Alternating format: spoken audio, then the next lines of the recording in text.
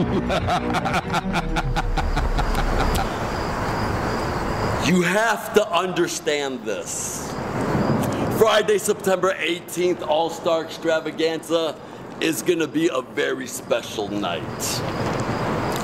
Understand that on that night, you get to see the greatest cohesive unit in all of professional wrestling, the HOT.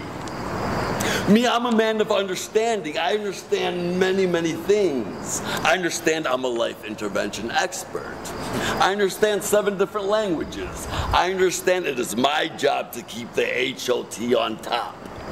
I understand my mouth speaks. I understand my arms reach. I understand my ears hear. I understand my eyes see. And contrary to popular belief, I actually understand the meaning of life.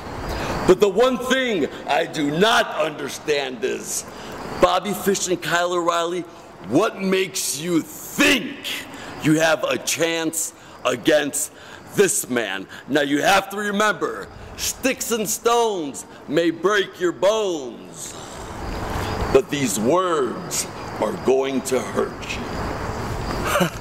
You guys don't have a cold chance in hell. Bobby Fish, let, us talk about Bobby Fish for a second. Bobby Fish, this is your chance of a lifetime. Look at it. It's the Ring of Honor Television Championship.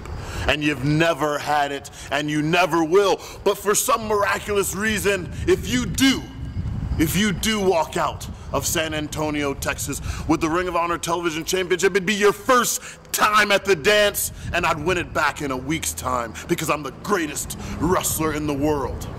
Bobby Fish, I don't even understand how you even believe that you have a chance when it's your partner, Kyle O'Reilly, who has the, the list of accomplishments yeah. because he holds two victories yeah. over me, which was in the past.